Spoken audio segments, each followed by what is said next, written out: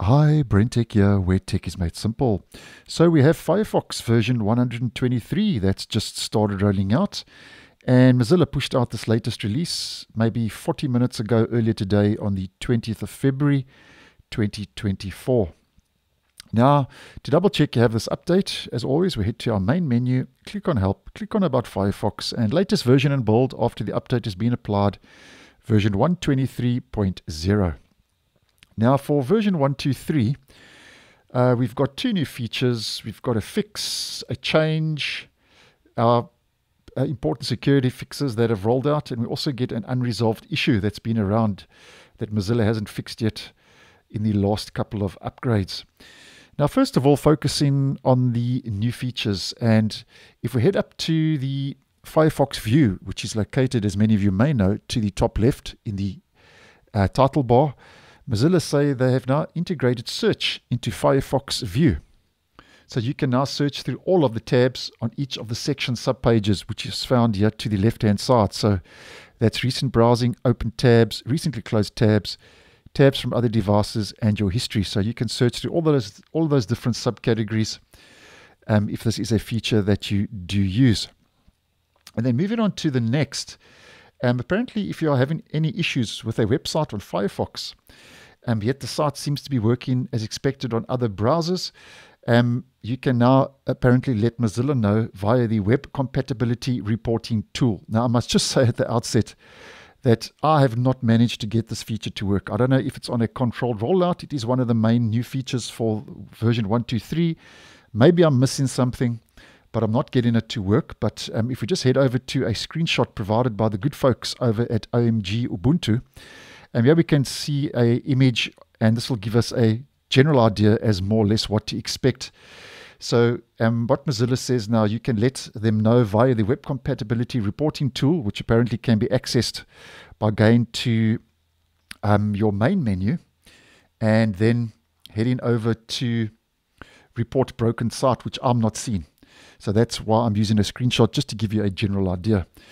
Now, um, by fill, Mozilla says by filling a web compatibility issue, you're directly helping uh, them to detect, target, and fix the most impacted sites, which they say um, will make your browsing experience on Firefox smoother. So this is just an example, and that is one of the new features where you can now um, report a site that, as an example, uh, is slow or not working. Just to give you two simple examples now with that report broken site, which can be accessed from the main menu, which I'm not seeing, so I'm almost sure that's still on a controlled rollout.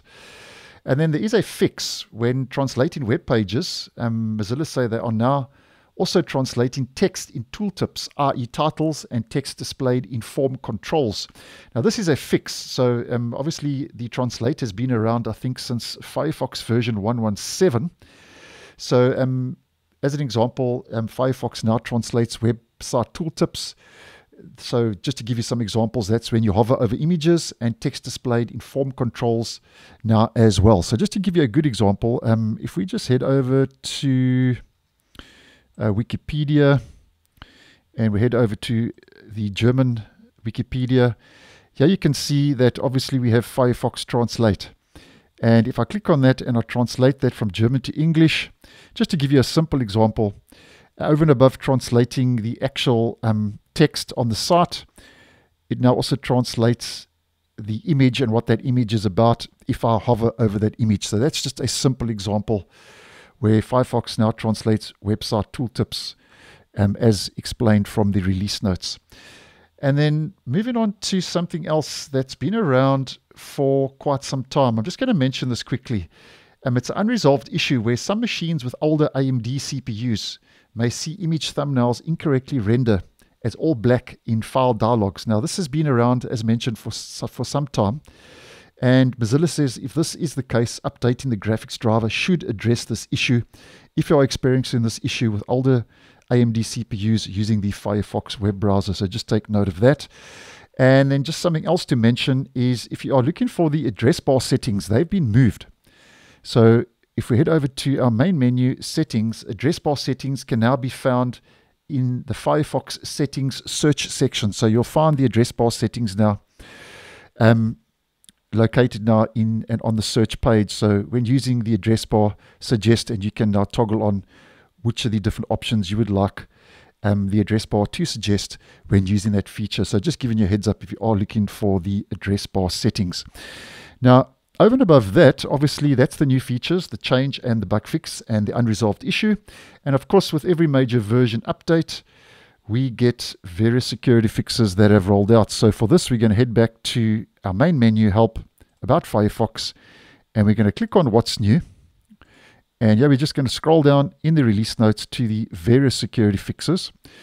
And in Firefox 123, we have 12 security issues that have been addressed. So, as always, with these major version upgrades, they do roll out a couple of security fixes which do address security holes in the browser. And out of the 12 vulnerabilities that have been fixed, we've got four high impact, which is your second highest after a critical. So that's the first high impact is memory safety bugs fixed, another memory safety bugs fixed.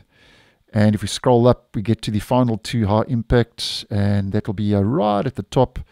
And that's alert dialog could have been spoofed on another site and out of bounds memory read in networking channels. So 12 security fixes have rolled out, and four of those are high, are high impact, so nonetheless important security updates that have made their way into Firefox 123. So um, that's more or less what's new.